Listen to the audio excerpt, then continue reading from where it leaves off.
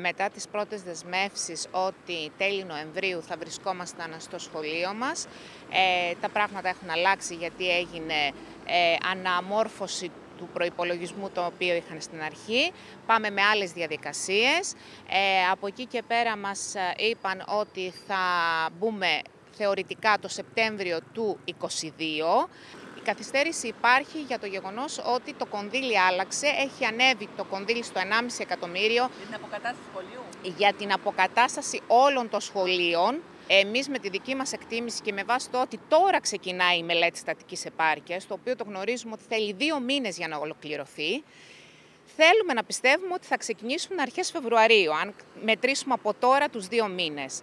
Ε, θέλουμε να υπάρξει μεγάλη ευαισθησία σε αυτό και να ξεκινήσουν όντως αρχές Φεβρουαρίου. Λογικά η χρονιά θα πάει χαμένη. Εάν η στατική μελέτη όταν θα βγει βγάλει σοβαρότερο πρόβλημα στο κτίριό μας, θα αναγκαστούμε να συζητήσουμε το ενδεχόμενο και εφόσον έχει φτιάξει ο Δήμος το χώρο τον οποίο λέει κάτω στο λιμάνι, να μετακομίσουμε εκεί. Είναι βέβαια πράγμα που δεν θέλουμε. Θέλουμε το σχολείο μας και το σχολείο μας είναι εφικτό να επισκευαστεί και να επισκευαστεί το γρηγορύτερο. Ε, υπάρχουν δύο σενάρια, δύο ενδεχόμενα.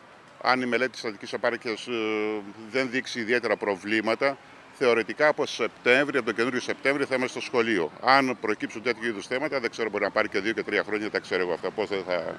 Ναι. Ε, οι λύσεις που δίνονται είναι η εξής μία. Λιώμενα, στον παλιό χώρο στο λιμάνι και τα οποία υπάρχει να πω ότι κουβέντιασα με τη Σχολική Επιτροπή ε, και εκεί υπάρχει ένα πρόβλημα το να βρεθούν τα ε, κοντέινερ τώρα. Αυτά αν τα έχουμε το Γενάρη που δεν θα τα έχουμε, μπορούμε να τα μετακομίσουμε. Αν είμαστε για ένα χρόνο, να πάμε το Σεπτέμβριο εκεί. Αν μας τα δώσουν κατά το Πάσχα, δεν έχει κανένα νόημα να μετακομίσουμε για ένα-δύο μήνες.